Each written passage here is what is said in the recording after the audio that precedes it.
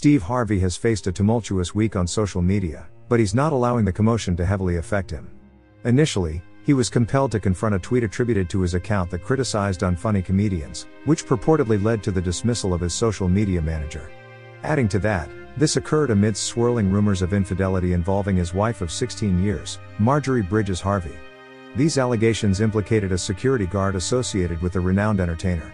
Predictably, social media users latched onto this false narrative, and Harvey wasted no time in addressing the situation. He shared his thoughts on the gossip during his recent appearance at InvestFest. Addressing the crowd, Steve Harvey stated, I'm not sure what you all are up to, but find something else to occupy your time, because we're doing just fine. I don't know what y'all doing, but find something else to do, because we fine. He went on to express a longing to respond more candidly, admitting, Sometimes you just want to unleash, but I don't have time for baseless rumors and idle talk. Lord have mercy. Man, I sure wish I could cuss though.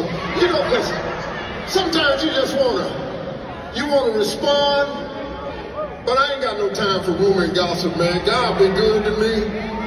I'm still shining. This, however, wasn't the sole counter to the online speculations that emerged in defense of Marjorie.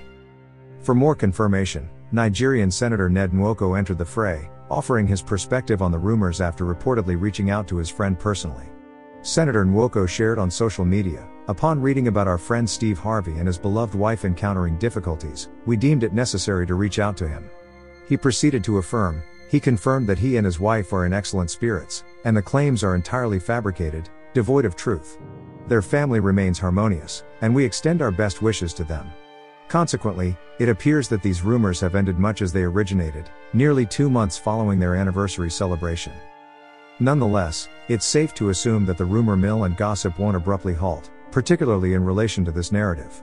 Yet, at least the couple can view such rumors for what they are baseless fabrications, not genuine reports. Despite the evident frustration tied to having to address unfounded speculations, the couple seems to be maintaining their happiness. Let's all remember that what God has put together, let no man put asunder. What are your thoughts on all this? Please do comment down below. Backslash.